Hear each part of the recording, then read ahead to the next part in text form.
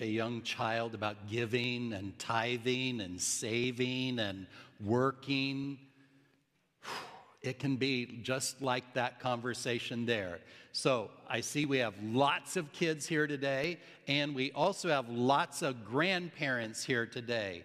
If you have not yet started to teach your child about gaining all they can, saving all they can, and giving all they can, it's not that you're too late, but boy, you are way behind, okay? So um, they're not going to learn this anywhere else in life except from parents, grandparents, great grandparents. It is your job, it is what God calls you to do.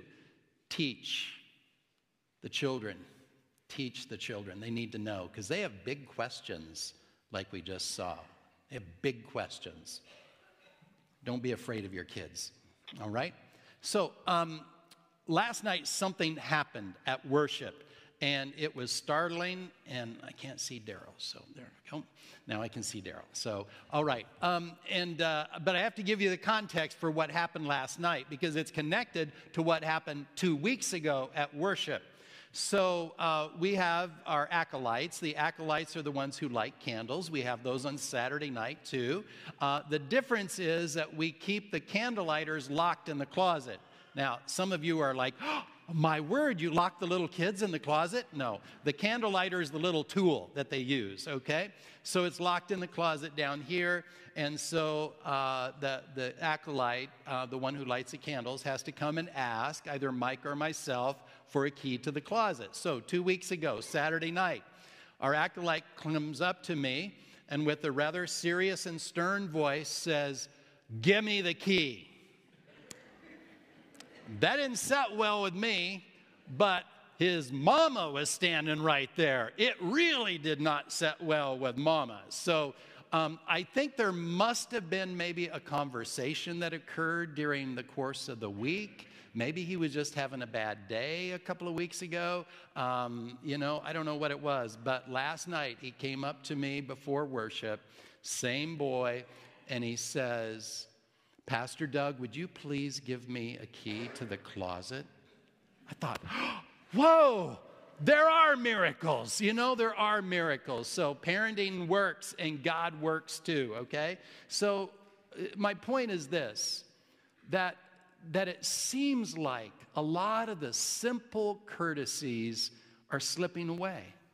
Seems like they're just slipping away at, at, at, home and at school, at businesses, and, and even in churches. They just seem to be slipping away. We don't say words like please and thank you near as often. And, and, and we don't take off our hats indoors or open the doors near as quickly as we did at one time. And we don't tip the hat or say hello to a stranger we meet near as much as we used to. It concerns me a little bit. A couple of weeks ago, I ate at a Chick fil A restaurant. Cindy and I ordered, and then we went and found a table. When the server came, he very respectfully set the, the food down on our table. He lifted off the sanitized table tag that was there, and then he asked if we needed anything else. And we said, No, we don't, but thank you for asking. He did two things next, which were remarkable. He looked us in the eye. He looked us in the eye and said, It is my pleasure. Chick fil A has made a corporate level decision to teach teenagers how to say please, thank you, and it is my pleasure. And the reason I know that it's a corporate level decision is because any Chick fil A you go to in the country, the teenagers are saying please and thank you, and it is my pleasure.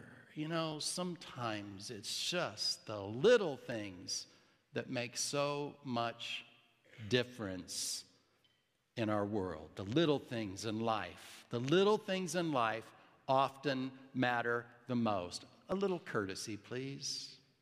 So let's go to our text. Jesus tells the story of a man who is managing a business for another person. And as the story unfolds, Jesus lets us know that the manager um, has made some pretty big mistakes. He's been dishonest, um, he's been destructive, he's been devious, and he is caught.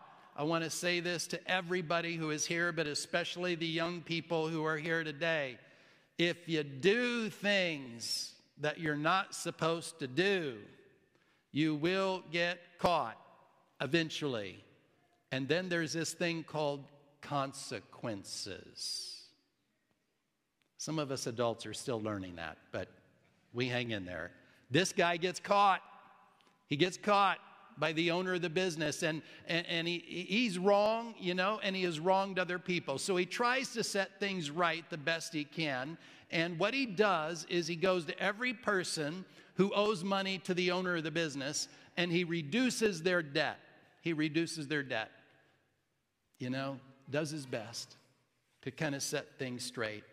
In Luke 16, verse 10, Jesus says this Anyone who can be trusted in little matters can also be trusted in important matters, but anyone who is dishonest in little matters will be dishonest in important matters. Jesus is saying the little things matter in life. They matter at school, they matter on the team, it matters out there in the field when you're doing harvest, it matters in the church, it matters at home. The little things matter. If you're not honest in the little things, you're not going to be honest when the big things come along your way. Time to start is with the little things. And Jesus here is talking about money.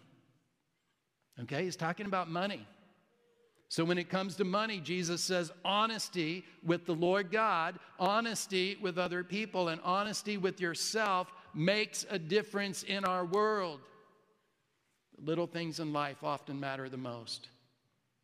A little honesty, please. I'm going to go back to the 1700s. John Wesley was a pastor. He was anointed by the Holy Spirit, empowered by the Holy Spirit to lead a spiritual revival in England during that time. And, and beyond his wildest imagination, the Methodist movement grew extraordinarily fast. And Wesley had to figure out how to manage all of this and all of these new Christians and all of that. So, what he did was he developed uh, a small group kind of system where people could continue to grow in their relationship with Jesus. Now, Wesley understood some things. He understood that every Christ follower needs at least two things. One of those is encouragement, and the other one is accountability. If you don't have both, it's kind of not balanced in there and it doesn't work very well. So that's why he developed these small groups is it so these new Christ followers could find the encouragement they needed as well as the accountability they needed. The Methodist small groups were originally launched not to teach people about Jesus, but to hold people accountable to give their offering to mission. That's what it was for. Later, it developed into uh, the primary discipling center for the Methodist movement. But, but Wesley understood in the 1700s that our giving is a spiritual discipline that impacts and can grow our relationship with Christ. He also understood something else that was very important, and that is that Christ followers are not excused they're not excused from the great commandment to love God and love other people. Wesley believed, Wesley believed that no one can love God or other people and fail to give. You can't do it. You can't do it. So he provided this system of accountability for giving our offering but also for growing in God's grace. The little things matter. The little things matter in life. A little accountability, please. Now, John Wesley was a very pragmatic um, pastor, and so he understood that, that giving to God would be an ongoing challenge. And he's right, it's still an ongoing challenge for Christ followers today. So he provided three rules to help people manage their personal finances. One of those, gain all you can. Another one, save all you can. And the third one, give all you can. Now, following these three rules of managing your personal finances is going to require that you have a growing faith in the Lord. It's going to require that you have a growing faith in the Lord God. This is especially true of the third rule, which is give all you can. And this is why, because giving all you can is difficult. It's difficult because it requires it requires faith in God's ability, God's ability to provide. And how many Christian people today don't believe that God has the ability? It's not whether He will or not, it's whether God is able or not to provide for us in our world. That's why giving all we can is difficult. It requires faith in God's ability to provide what we need.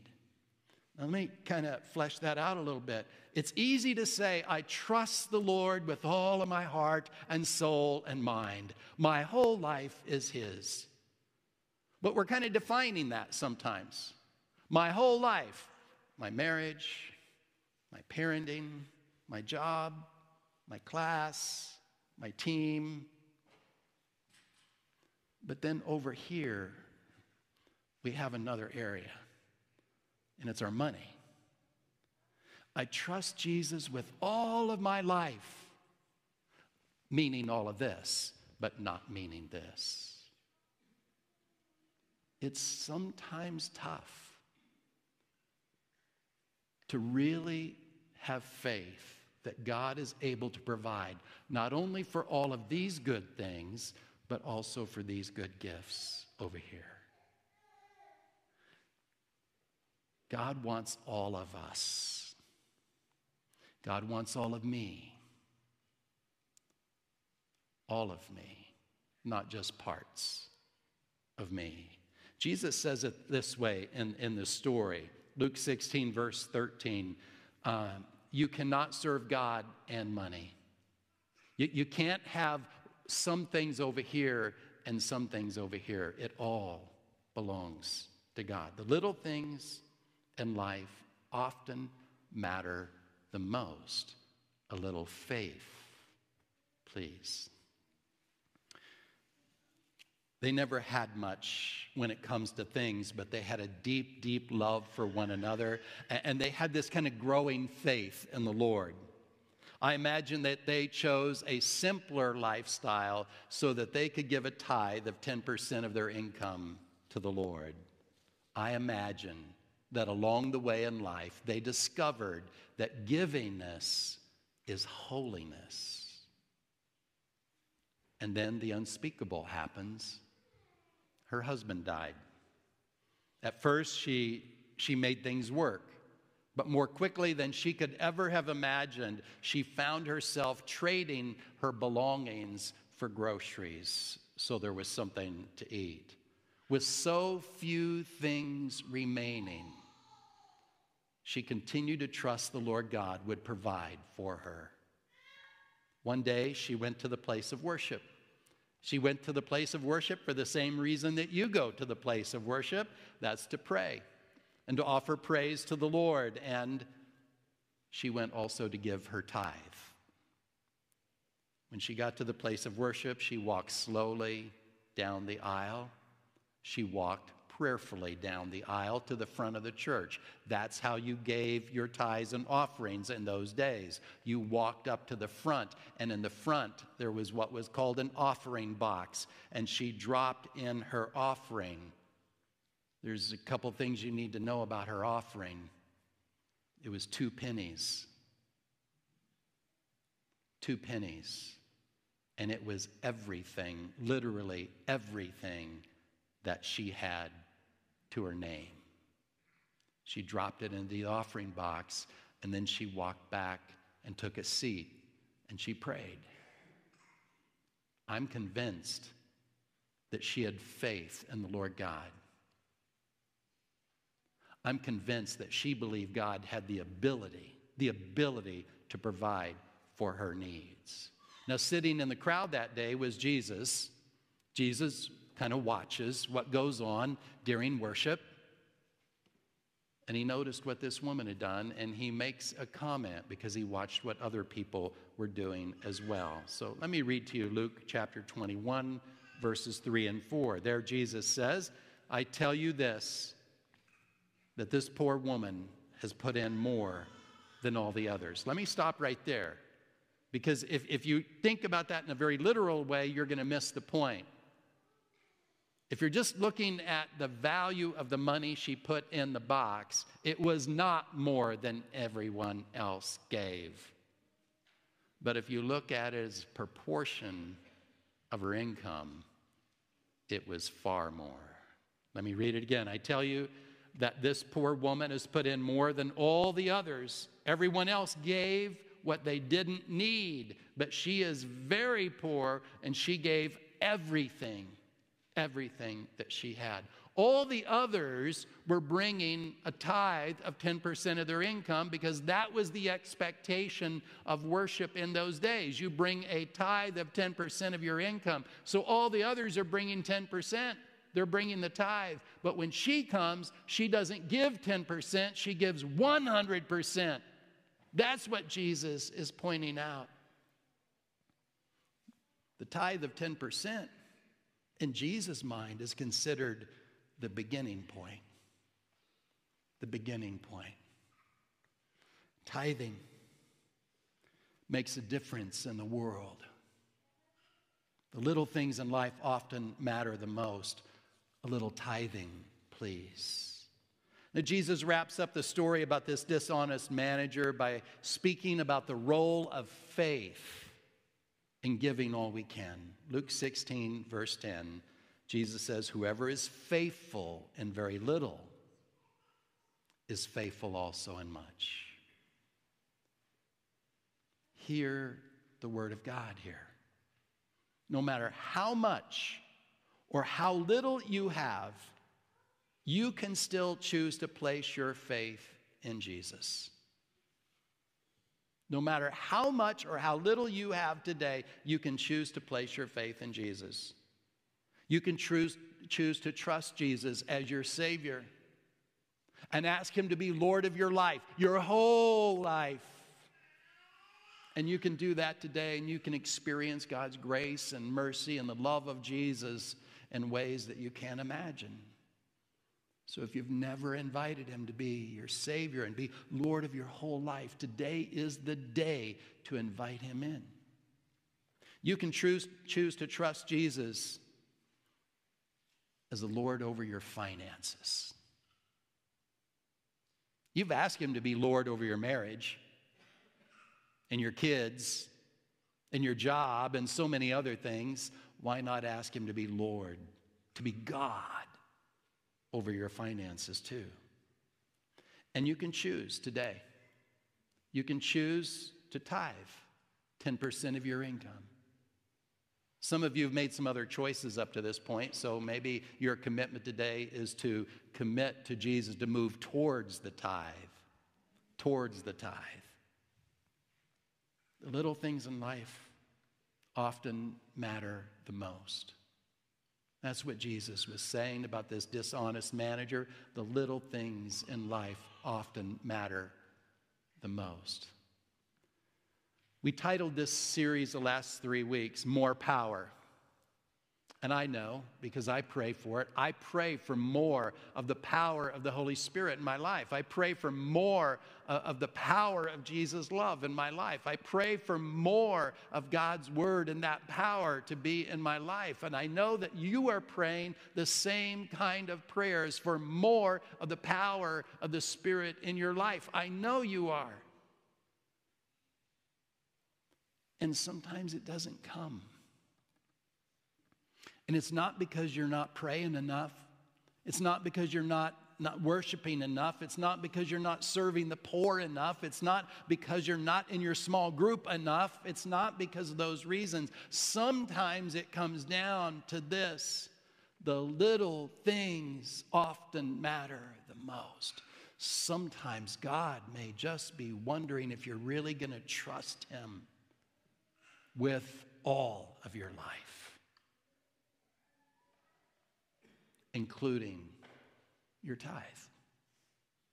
Maybe that's when the full power of the kingdom will flood your life, your heart, your mind, your soul, everything that you're doing.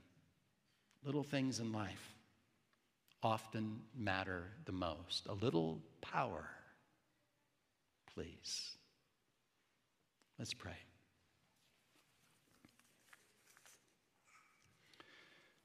Jesus, we hear your word today that the little things often matter the most. A little more courtesy, a little more faith, a little more accountability, a little more power, a little more tithing. Yeah. Jesus, we want all those things. We want all those things because we want to live and love like you, Jesus.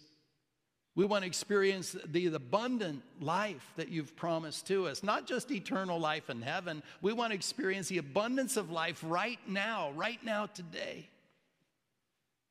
So, Jesus, help us to be faithful in the little things like courtesy and honesty and accountability, like faith and like tithing. Help us to be faithful in the little things so that when you're ready and you believe we're ready, you'll provide those great big opportunities too. Thank you, Jesus, for hearing our prayer. Thank you for leading us and guiding us closer to your heart. Thank you for your amazing grace and your tender mercies. Thank you, Jesus, for reminding us it's not how much in dollars, it's how much of our heart. And so, Jesus, we commit with your help to gain all we can, save all we can, and give all we can to your glory. To your glory, Jesus. Amen.